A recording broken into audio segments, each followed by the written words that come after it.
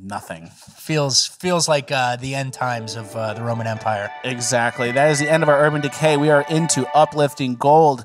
We are in our uplifting gold section. We have a great uplifting gold today. Lots of things to be happy and grateful for. No need to get depressed and down. I don't think this was a very depressing episode.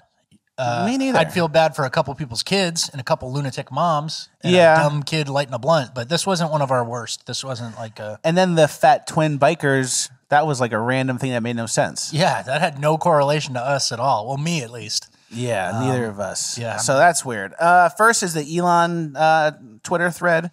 Yeah, This is um, pretty good. I mean, Elon is just firing people over Twitter. That's the Yeah. uplifting gold. These people have little snarky. They're used to some weird sort of uh, tech thing where everyone can speak out and everyone's voice matters, and they're just openly dissenting. yeah. And then Elon's firing them. And here's what happened. Elon tweeted, "By the way, I'd like to apologize for Twitter being super slow in many countries. App is in many countries. App is doing a thousand. Greater than a thousand poorly batched RPCs just to render a home timeline, meaning it's working very hard just to show you basically the app. Then some guy Eric says, "I have spent six years working on Twitter for Android and can say this is wrong."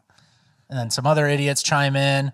Um, and then Eric Pont, to his many followers, goes, maybe he should ask questions privately, maybe using Slack or email. Goes like this, like a little snarky employee, like you're, Yeah. you're directly uh, alluding to your boss. And then some guy replies, with this kind of attitude, you probably don't want this guy on your team. And then Elon just goes, he's fired. so I love that. Yeah, me too. I love the comeuppance. These people are like in Bizarro world where they thought they're living in this in this fake uh, timeline, and then it's like, no, this is how a real boss works. This is how Yeah. a real job. This is how a job in 1980 would be. This company needs to make money. Yeah. we're spending all the money on lunch. There was another one where, th- yeah, he said, uh, "Oh, we Twitter employees. It costs more. We have more staffers working in the cafeteria than people who eat the lunches, and it's cost us this and that." And then someone chimes in and goes, "This is false. I'm in charge of the the eating program." Blah blah blah. And Elon Musk goes, "We spent 13 million on food.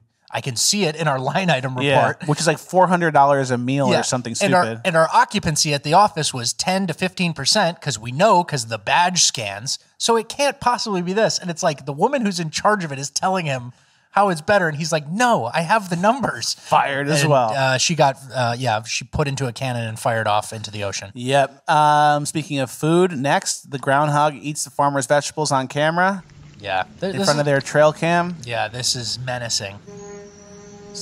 The farmer's trying to.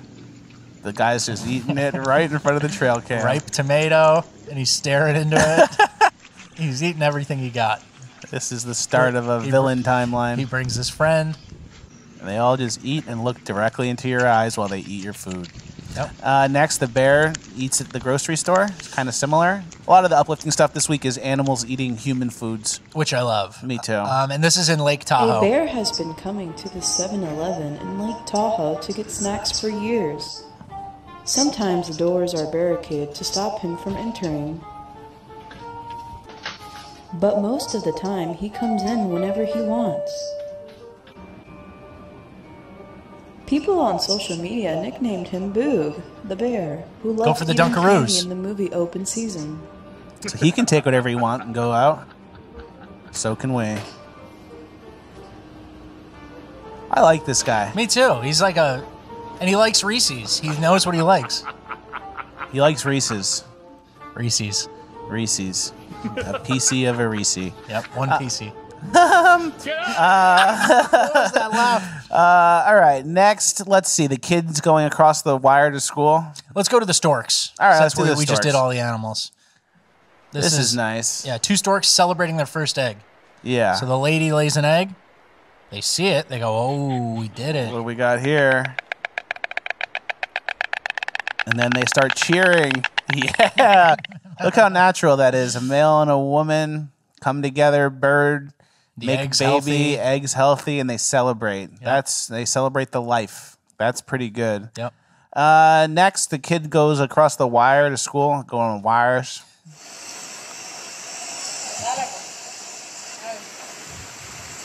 Mira, cruzan estos niños aquí con este peligro en esa carrucha, miren. Are they speaking Spanish? Yeah, I think so. Ahí están cruzando para la escuela. You know, Yeah, they are speaking Spanish. this is uplifting gold, but I don't want to get negative, and I I'm I'm over the days where I make uplifting gold actually negative. But it's 2022. You couldn't build a bridge by now? I think I cracked it. All the men in this village are here illegally, and nobody's there to build a bridge anymore. and so the girl just goes to school over a little paracord thing. Yeah, all the eligible, uh, capable men who would have fixed that society have already left for America. They already came up through the southern border, and they're waiting on Chuck Schumer to give them amnesty here then because we need it- workers. yeah. While this girl has to cross a bridge every or a bridgeless river every day. Yeah, no bridge. All the men are here. That's a great point. Um, I actually saw a meme the other day. This might be too dark, but it was like uh, it was like a colonized place in Africa mm-hmm. where Europeans had built a bridge, and the bridge crumbled after many many years. Colonialism was a while ago. They built a bridge, and these people were crossing that broken bridge with a rope. So they couldn't same fix the, principle. They couldn't fix the bridge, couldn't and fix it's the like, bridge. But colonialism is a problem. Yeah. No one's got bridges or water or anything or electricity. Yeah. Colonialism is a problem. I'll take colonialism if I need to cross a river. Next, this guy is the hope of, uh, of the future. Uh, guy shows girl his Costco card at the baseball game, caught on camera. She goes, "Wow, Wow. Costco card. Costco card.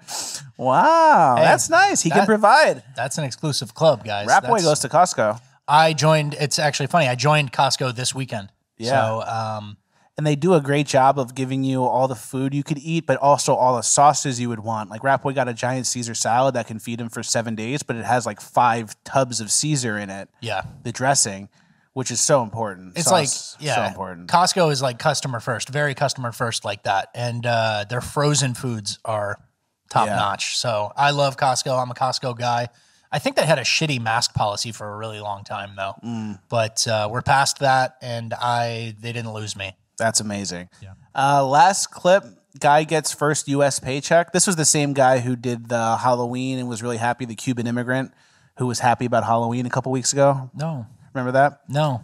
Well, it was in the show. All right, should I play it now, Yep. or do I need to remember and go back? Do you to remember? No, I don't. What did He he, goes, do? "Oh, this is so great. This is so nice. I wish it was like this every day. Oh, everyone's so celebrating. I love seeing the neighborhood like this." And he was giving candy out to the kids. I don't remember this at all. It was this guy. All right, You, all right. You don't watch the podcast. I don't. grabando, ¿no? Ya. Grábame, Ok. grábame, no se te olvide eso, grábame. Mira lo que vamos a sacar del bolsillo. Oh my god! Showing his address on the internet.